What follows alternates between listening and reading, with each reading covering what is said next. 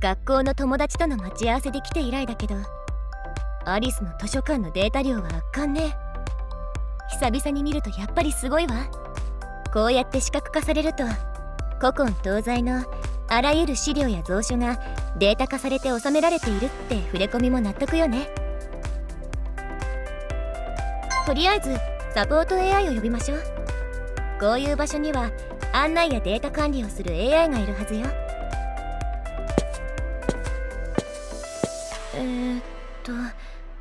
図書館の利用者メニューを開いて。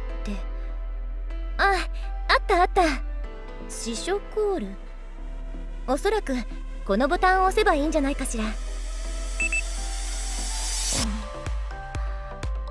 変ね。AI ならすぐに反応しそうなものなのに何の反応も返ってこないわ。もしかして管理者コールだったのかしら？確かに接続先がアバターならそういうこともあるかもしれないけどもう一度押してみようかしら。やっ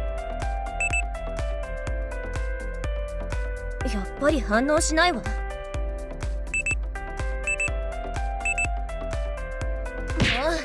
ちょっとこのボタンバグってるんじゃないの？そこのあなた方少し静かにしていただけませんか？ここは図書館ですよ。あごめんなさい司書コールが反応しないので困ってつい。ああそのボタンですか。それは図書館の館長宛ての通信ボタンでめったに反応しませんよ。館長はあまり仕事がお好きでないようなので今も席を外してどこかでサボっているのでしょう。サボってってじゃあこのボタンは何のためにあるのよ。館長がまともに仕事をしている時はちゃんと機能しているボタンですのでタイミングが悪かっただけですよ。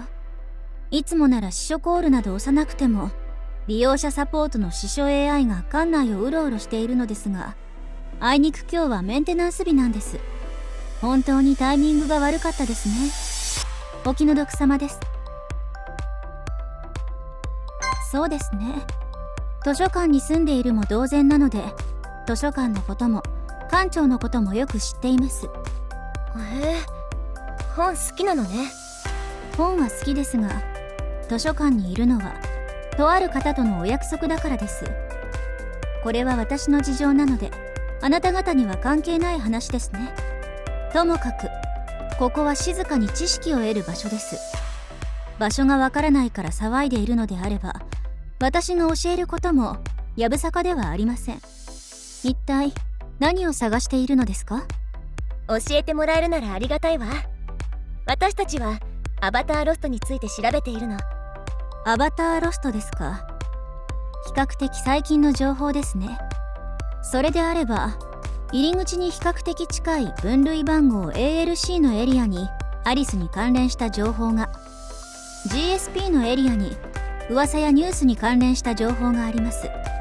それからメニューの場所から遠いので分かりづらいですが図書館内の検索エンジンもあるので次回から使うといいですよ。あそういえばそうね。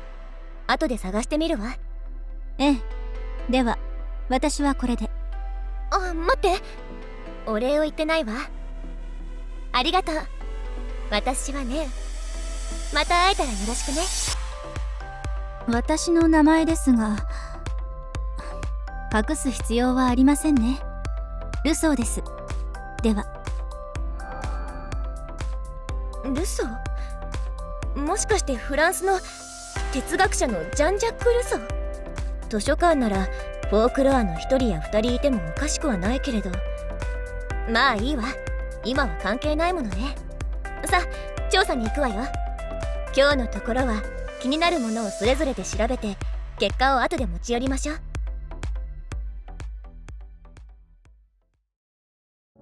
じゃあお互いの調べた内容をまとめるわね。まずアバターロストの情報自体は結構あったけどほとんどが怪しい眉唾情報だったってことでお互い認識は相違ないわね。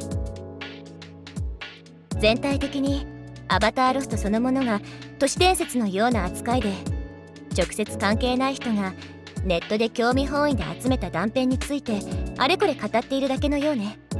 意識が戻ったっていう人の記事もあるにはあったのだけど要約すると意識を失ったのは神による試練で世の真理を見せるために異世界に行っていたってことらしいわ。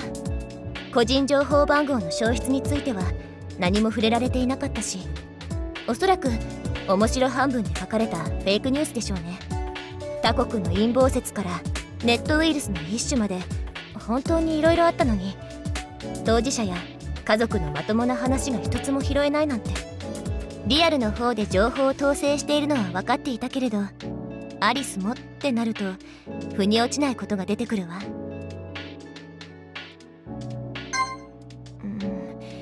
うん。なんて言うのかしら。本人や家族が難しい病気になったりしたら何かしらネットにつぶやいたりすることってあるじゃない？そういったものが一つもないし削除された形跡すらないのは妙だなと思ったの。記事そのものを消したとしても削除に対する疑問や派生した先までないっていうのはちょっと徹底しすぎじゃないかしら。女王がアバターロストを狙って引き起こしているかアバターロストそのものが都市伝説でない限りさすがに何もないというのは変よ。女王が正常な判断力を失っている説もあったけどもしそうならここまで綺麗に証拠というか痕跡を消すなんて難しくない。そういうことも考えられる。ということよ。うーん。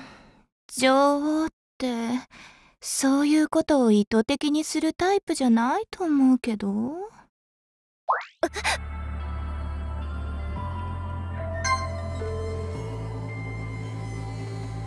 誰もいないでも今誰か会話に割り込んだわよね。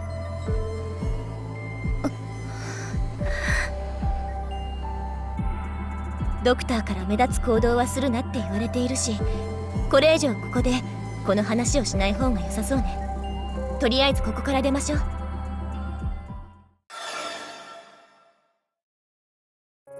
目的の情報は得られなかったけれどアリス開発の話とか知らないこともたくさんあって面白かったわ。知ってる？アリスの開発チームってたった14人しかいなかったそうよ。後から2人ほど増員されたみたいだけどそれだとしてもこの規模の開発と研究をその人数で回してたってすごいと思わない？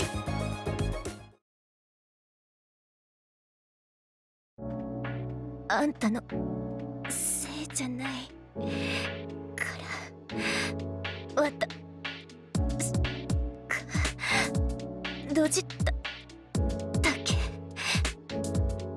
その甘さと弱さはいつか本当に人を殺すぞ。自覚しろ。ちょっと。また変な顔して。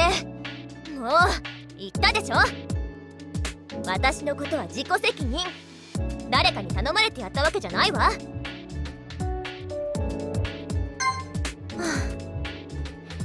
ちょっと歩きましょうか。あのさ私が研究所に戻ってきた時やその後の排気領域でのことはアンドロメダから聞いたわ。研究所であんたモモチに殴られたんですってね。その後排気領域でも模擬戦でやられたんでしょ。もしねモモチが私の怪我のことだけが原因であんたを殴ったのならそれは違うと思うわ。さっきも言ったけどあれは私の自己責任なの。ただアンドロメダが何も言わないなら他に別の意味と理由があるのかもしれないわね。でもいつまでも囚われている時間はないわよ。あんたにはやらなきゃいけないことがある。でしょ？湊さんを助ける。あんたの記憶を取り戻す。やることはいっぱいよ。さっさと切り替えなさいよね。ほら元気出す。そうね。ドクターと同じく私たちの目的に近づく手段をあんたが持っているというのもあるのだけど放っておけないからかしら。ほら私そういう病気らしいから。って何よその顔。まさか優しいとか思ってないでしょうね。優しさとは違うからね。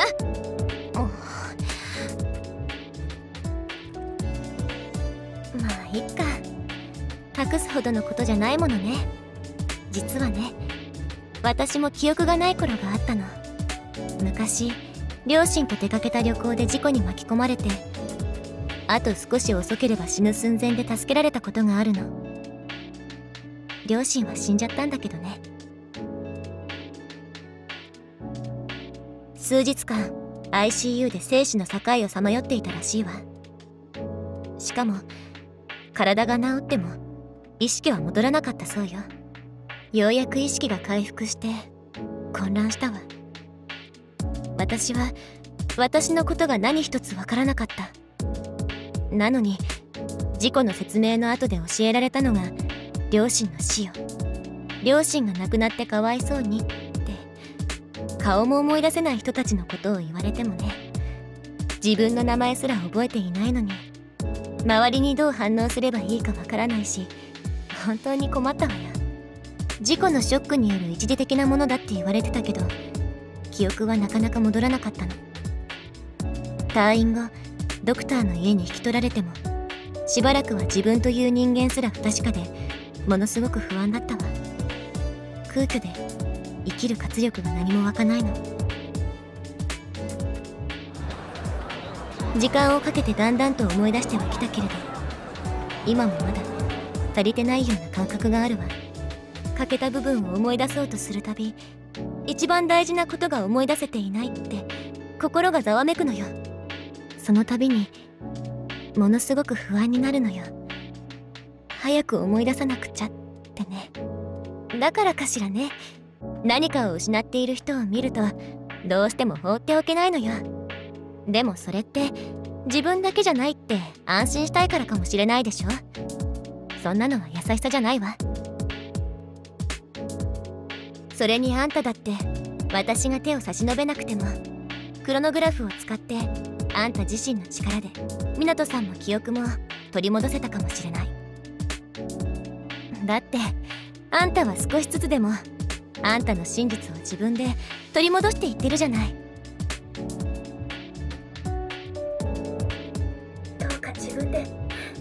あなたの真実を取り戻し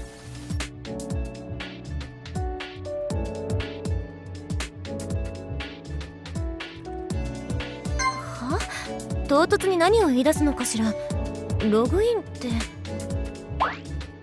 何か思い出したの？言ってることがよくわからないけど何か大事なことなのね。いいわ。話を続けましょう。ログインって現実からアリスへ入る時のログインのことよね。それならないわ。そのタイミングで私とあんたが出会うことは絶対に不可能なの。理由は簡単。アリス利用者は他人のログインに干渉することができないからよ。アリスはログイン時に個人情報管理番号で本人確認やいろんなものをチェックしているのだもの。そんなことできたら個人情報が流出し放題になるじゃない。人による運営を女王が排除した今のアリスで女王以外にそんなことができる者がいるとしたらそれは女王と同じ属性を持った情報体だけ。期待に添えなくて残念だけど私にはそんな能力も権限もありません。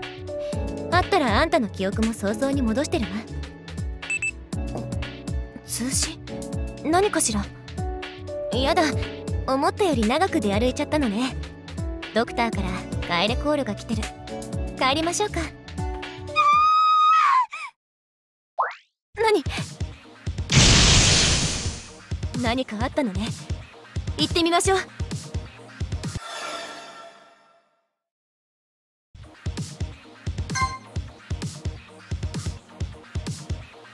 これは一体？街が壊れて。どけ！邪魔だ！逃げてる人がいる。急ぎましょう。なんてこと。ポーンが街に溢れて。どういうこと。ゴミ箱が破壊されてるわ。まさか破壊されて入り口が広がったからポーンが。なんなのよこれ。ポーンだらけじゃ。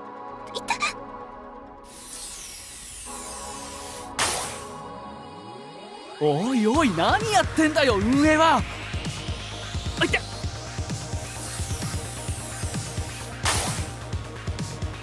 イ君どこに？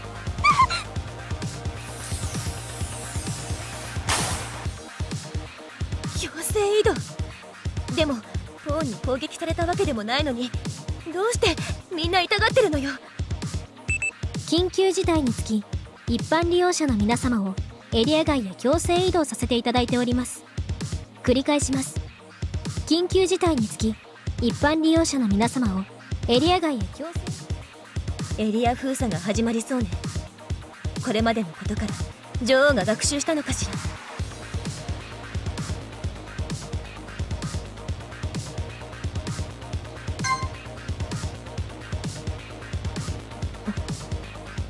ら。ああそういうこと。私たちは排気領域に入る許可を得てるでしょつまりポーンを対処する手段を持っているってこと。だからおそらくこの対応は女王からの暗黙の協力要請みたいなものだと思うのよ。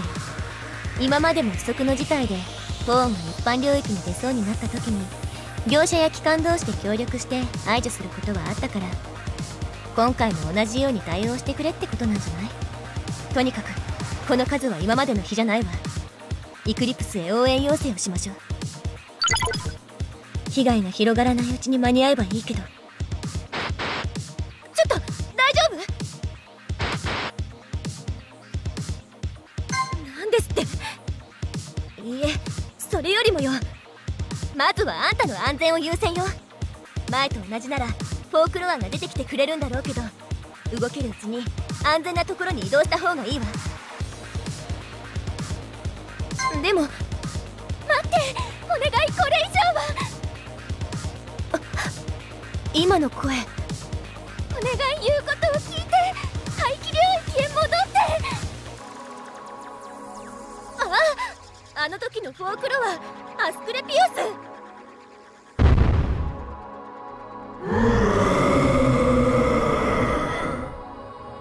それに魂食いまで一般領域に出てきたの？まさかあいつが排気領域側からゴミ箱を破壊したんじゃ。ん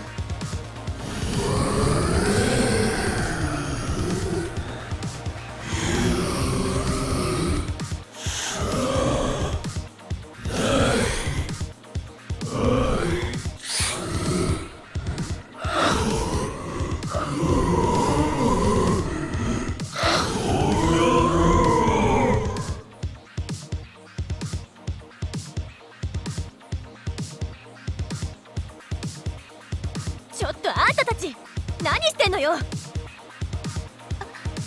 た方は？この騒動はあんたたちのせいね。一般領域で暴れるとか一体何が目的なのよ？ち違違います。私たちは街を破壊したいわけでは。じゃあ何だっていうの？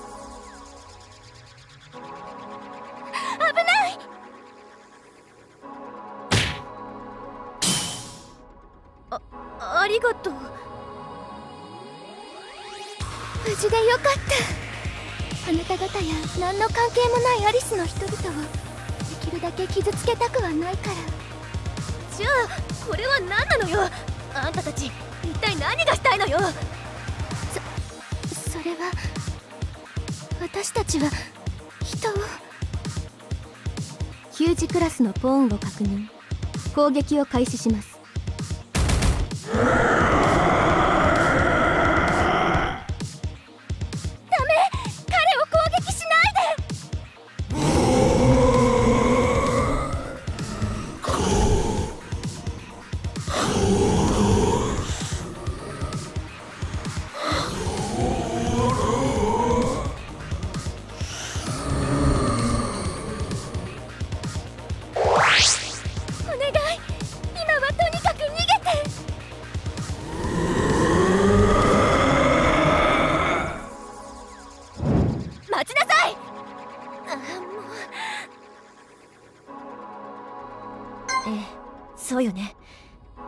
逃すのは悔しいけどポーンを放って追いかけるわけにはいかないわ。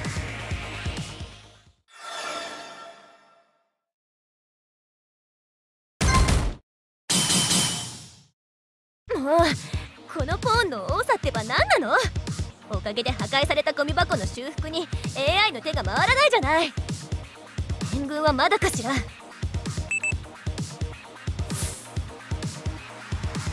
えもち遅かったじゃない今どの辺り近くまでは来ているだが少し問題が発生したエリアに何らかの制限がかかってるこのままではフォークロアが中に入れんどういうこと研究所の AI やアバターのメンバーはすでに中に突入したしかしアンドロメダやヘルプで駆けつけた武蔵は中に入ろうとしてもセキュリティで弾かれてしまう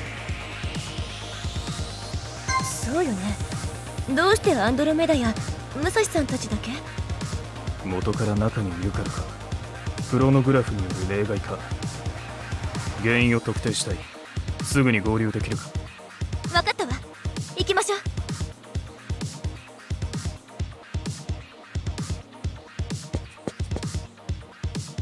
お待たせ。すまん。この通り向こうの状況は見えているんだが音が遮断されていてな。アンドロメダたちと話ができん。でわ？なんじゃ？急に穴が開いたぞ。理由は分からんがせっかく中に入れたのじゃ。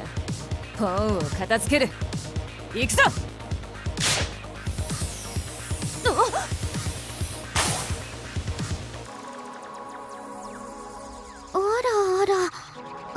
き出されちゃいましたね。もう一度入ってこられるでしょうか？これはさすがに分かりやすいな。クロノグラフから一定範囲にいるフォークロアだけがこのエリアに存在できるということおいお前クロノグラフをよこせ。時間がない。戦場でくらい割り切れんのか。いいから早くしろ。ももちの方こそ大人げないんじゃない？それ今言うことじゃないでしょ？皆さん今は緊急事態ですよ。優先されるべきは事態の収集です。それとももちはちゃんと理由を言ってください。分かった。武蔵の行動範囲を広げられるよう効果を増幅できるか解析する。だから早くクロノグラフを出せ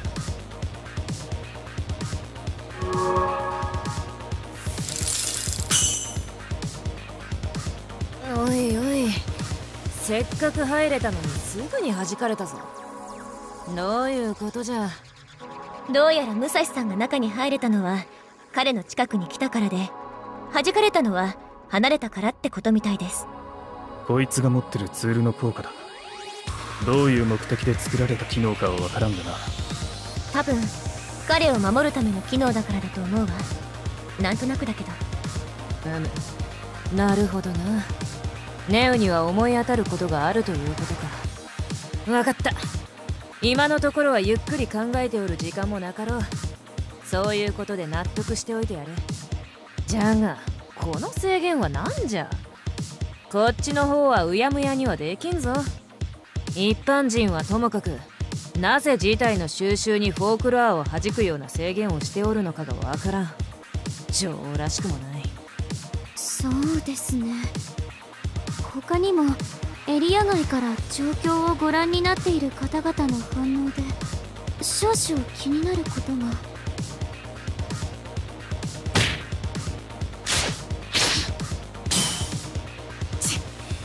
戦場の真ん中で悠長に作戦会議などするなとでも言うつもりか。対策もさせてもらえんとはな。わしが自由に動くにはこやつを抱えて走るしかないのか。バカを言うな。本気のフォークロアの足についてこれるわけがなかろう。遠慮せずともお主一人くらい荷物とも思わんぞ。お待ちください武蔵様。その必要はないはずです。桃地先ほどの解析は？もう終わる。だが急ごしらえだからな。対処できるのはフォークロア1体分だけだ。対応できるのか。さすがイクリプスのコードアーティストじゃ当然その1体分はわしに使わせてもらえるんじゃろ？承知しました。では私は外で周辺の調査をしておきます。エリアの中は他のメンバーや AI もおりますし武蔵様とヌーさんたちにお任せすれば大丈夫ですよね。おう任せよ。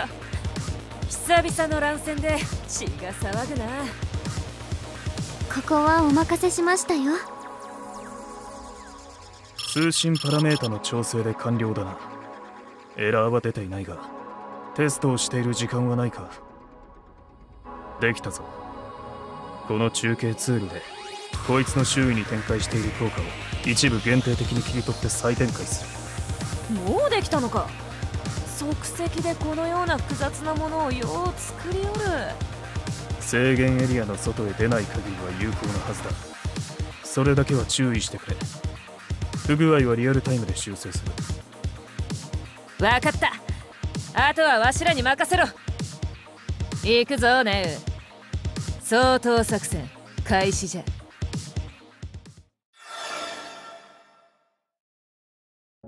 うーむ片付いたかの。相当完了じゃ。よく頑張ったなねありがとうございます武蔵さん。なんとかなってよかったわ。ね修復も始まっておるしエリアの制限も解除されたようじゃな。一般人がちらほらと戻っておる。ああそうじゃ。俺こいつは返しておくぞ桃地殿。おかげで助かったわ。ああ。あの武蔵様。お疲れのところ申し訳ないのですが少しよろしいでしょうか。このようなものを拾ったのですが一応ご確認いただけますか？お？わしにか？はい。こちらのデータなのですが。これは社員証だと。これがコンフリクト社のものだからよ。コンフリクト社は覚えてる。ほらこの前 e スポーツのトーナメントを主催してるって言った会社アリスでの社員証はね会社がアリスの個人情報番号による認証セキュリティとは別に各企業が自社で発行している証明書なの。アバター個人を特定する情報ではないから外付けのデータなのだけど普段はきちんとロックされていてアバターから簡単に外せるものじゃないのよ。本人がわざと置いていったのでなければハッキングでもされて奪われた事件かもってくらい重大なことなの。あとコンフリクト社だと。何が問題なのかというとね。それは武蔵様にお答えいただくべきでしょう。そうじゃな。コンフリクト社はわしらの。テンペストの資金提供元なんじゃ。わからん。とはいえこの状況で無関係じゃろうなどと楽観的にはなれんが。うちの連中とも相談してみんことには軽はずみなことは言えん。すまんが今日のところは解散ということにしてくれ。そうですね。わかりました。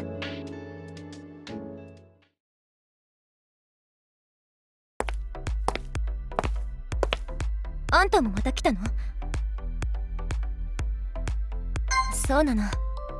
私はここで調べたアバターロストの資料をもう一度確認しに来たの。どうしても気にかかるのよ。なぜ噂や推測みたいなものしかなかったのか。それに白い魂食いが街中に出てきたことについても今のうちに確認しておきたいの。あれだけの騒ぎだもの。情報が規制されてたとしても今ならまだ何かあるんじゃないかと思って。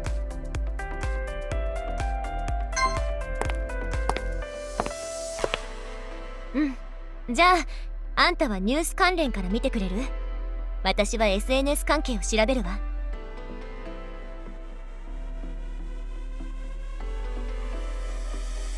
どう？何か見つかった？そう。規制が外れたって聞いてたからどう報道されるのか気になってはいたけどまだなのね。SNS の方はおかしなことになっていたわ。情報が錯綜しているというか明らかなフェイクニュースも入り混じってて何が本当かわからなくなってる。事件から早い時間のものこそまだ白いポーンとか魂食いの情報も出ていたのだけど時間が経つと徐々にテロとか愉快犯の犯行っていうことになっちゃってた。今じゃ白いポーンについて主張してた人が嘘つき扱いよ。騒ぎに便乗して自分の SNS へのアクセスを稼ごうとしてる。みたいな言われようね。私たちは実際にあのエリアにいたからこそそうでないとわかるんだけど見てなければ確かにそうとしか思えない話だものね。でもね不思議なのは当事者のはずの人や AI の証言にも事実ではないことが混じってることなの。例えばこのポーン駆除の対応をした業者のインタビュー記事。複数の男がゴミ箱をいくつも破壊して回るのを見ました。って書いてあるの。おかしくない？私たちは白い魂食いが破壊したのは見たけど複数の男が壊して回ってるところなんて見てないわ。いくつも破壊してたなら遭遇してそうなものじゃない？いずれにせよ何かが起こっているのよ。私たちの知らないところでね。もしこれだけの情報操作をしているのならば女王がやっているのかもしれないって。疑ってしまうわね。え通信？図書館だから切ってたはずなのに。その話はここでするな。ここには耳がある。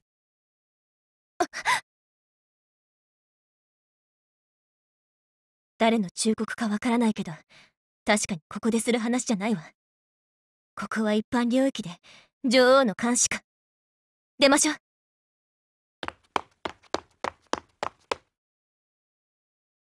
久々に難しいことしちゃったから疲れたわ。ああ眠